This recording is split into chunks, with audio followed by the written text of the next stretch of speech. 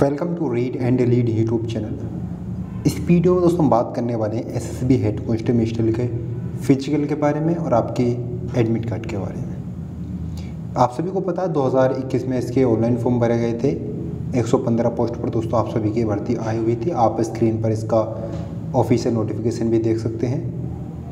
तो अब दोस्तों, बहुत ज़्यादा आपके कमेंट आ रहे हैं कि आपके जो फ़ेज़ में फ़िज़िकल होने वाला है तो वो कब होगा इसके एडमिट कार्ड कब आएँगे और साथ ही आपका फ़िज़िकल में क्या क्या होने वाला है। किस तरीके से दोस्तों आपको तैयारी करनी है। तो जितने भी दोस्तों आपके डाउट हैं वो सारे हम इस वीडियो में क्लियर करने वाले हैं। इस भर्ती का दोस्तों मुझे पर्सनल एक्सपीरियंस भी है क्योंकि इसकी दो हज़ार सोलह सत्रह में भर्ती आई थी तो उसमें मैंने भी पार्टिसिपेट किया था। तो मेरा पर्सनल एक्सपीरियंस भी है तो, तो मैं आपके साथ वो भी शेयर करूँगा।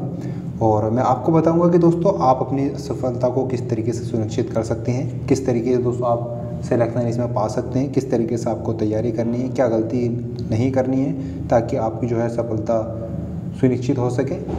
तो सबसे पहले दोस्तों, बात कर लेते हैं, आप सभी को पता है, फेस वन में आप सभी का इसमें फ़िज़िकल होगा। तो फ़िज़िकल की तैयारी आपको किस तरीके से करनी चाहिए और आपका फ़िज़िकल कब होने वाला और फ़िज़िकल में क्या क्या होगा।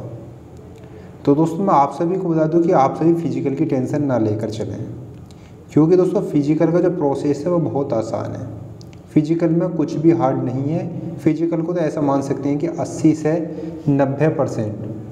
अस्सी से 90 परसेंट जो स्टूडेंट हैं, वो फ़िज़िकल को क्वालिफाई कर लेंगे। फ़िज़िकल में ज़्यादा बच्चे डिसक्वालीफाई नहीं होते हैं। तो फ़िज़िकल में आप फिर भी आपका फ़िज़िकल तो है ही फ़िज़िकल की थोड़ी बहुत तैयारी तो आपको करनी ही पड़ेगी। आप अपने अकॉर्डिंग देख लें, किसी का यदि फ़िज़िकल अच्छा है तो वो थोड़ा कम टाइम दे, जिसका फ़िज़िकल सही है, वो थोड़ा कम थोड़ा जिसका जिसका फ़िज़िकल थोड़ा ख़राब है तो वो ज़्यादा टाइम दे। बाकी अपना जो फोकस करना है, वो आपको रिटर्न एग्ज़ाम पर करना है, क्योंकि सिलेक्शन के लिए सबसे ज़्यादा ज़रूरी है वो आपका रिटर्न एग्ज़ाम ही है। तो रिटर्न एग्ज़ाम के बारे में भी डिस्कस करेंगे, पहले फ़िज़िकल के बारे में डिस्कस कर लेते हैं। तो फ़ेज़ वन में दोस्तों आप सभी को पता है इसका जो सिलेक्शन प्रोसेस है, वो तीन स्टेप में है मैं आपको ओवर ओवरव्यू बता देता हूँ। पहले स्टेप में दोस्तों आपका फ़िज़िकल है, दूसरे स्टेप में दोस्तों आपका रिटर्न एग्ज़ाम है, तीसरे स्टेप में दोस्तों आपका टाइपिंग टेस्ट है और डॉक्यूमेंट वेरिफिकेशन है, चौथे स्टेप में दोस्तों आपका जो है इसमें मेडिकल टेस्ट है। इस तरीके दोस्तों आपका चार स्टेप में फ़िज़िकल है। अभी आपका जो होगा वो फ़ेज़ वन होगा फ़िज़िकल स्टेप वन तो स्टेप वन में दोस्तों आप सभी का फ़िज़िकल होगा। फ़िज़िकल में क्या क्या होता है मैं आपको बता देता हूँ। पहले दोस्तों वहाँ पर आपकी जो है हाइट मापी जाती है चेस्ट मापा जाता है वेट मापा जाता है और रनिंग होती है। इससे ज़्यादा दोस्तों वहाँ पर कुछ नहीं कराया जाता है। और दोस्तों इसमें जो रनिंग होती है, पहले मैं आपको रनिंग के बारे में बता देता हूँ। तो रनिंग जो होगी दोस्तों इसमें मेल कैंडिडेट की 1600 मीटर रनिंग होगी। 1600 मीटर रनिंग के लिए आपको छः मिनट तीस सेकंड की टाइमिंग दी जाएगी और फीमेल कैंडिडेट की जो रनिंग होगी वो मीटर रनिंग होगी। आठ सौ मीटर रनिंग के लिए आपको चार मिनट की टाइमिंग दी जाएगी। तो टाइमिंग ठीक ठाक है जिसने प्रैक्टिस की है तो वो आसानी से क्वालिफाई कर ही लेगा। तो रनिंग के बाद में आप सभी का हाइट चेस्ट वेट मापा जाता है। तो इसमें जो हाइट मांगी गई है नॉर्मल क्षेत्र से मेल कैंडिडेट की एक पैंसठ सेंटीमीटर फीमेल की एक पचपन सेंटीमीटर जो चेस्ट चाहिए मेल कैंडिडेट का, वो सतहत्तर सेंटीमीटर चाहिए, पाँच सेंटीमीटर चेस्ट फोड़ना चाहिए।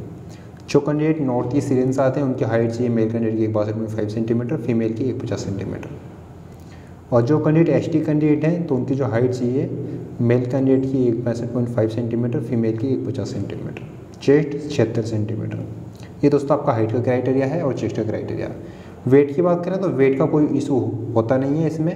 फ़िज़िकल के टाइम पे यदि आप अंडर वेट हैं ओवर वेट हैं तो आपको वेट में फेल नहीं किया जाता है। लेकिन आप जब वेट को अपने आपका जो मेडिकल होता है, उस टाइम तक आपको जो वेट अपने हाइट के अकॉर्डिंग करना होता है। क्योंकि यदि आपका वेट हाइट के अकॉर्डिंग फ़िज़िकल मेडिकल के टाइम पर नहीं हुआ तो आपको अनफिट कर दिया जाएगा। दो तीन किलो प्लस माइनस ले लेते हैं, वो डॉक्टर पर डिपेंड करता है, लेकिन फ़िज़िकल मेडिकल के टाइम पर वेट में अंडर वेट या ओवर वेट को फेल कर दिया जाता है। अभी फ़िज़िकल में कोई दिक्कत नहीं होगी। तो ये तो था दोस्तों आपका फ़ेज़ वन का प्रोसेस जो आपका फ़िज़िकल में होने वाला है। रनिंग आपकी हाइट चेस्ट वेट इससे ज़्यादा कुछ नहीं होगा, जो मैंने आपको बताया है, वही होने वाला है। और कुछ ज़्यादा हार्ड प्रोसेस नहीं होता। बहुत आसान फ़िज़िकल होता है, अच्छे समझाते हैं, बहुत अच्छा स्टाफ होता। है बात करते हैं आपका, ये फ़िज़िकल कब हो सकता है?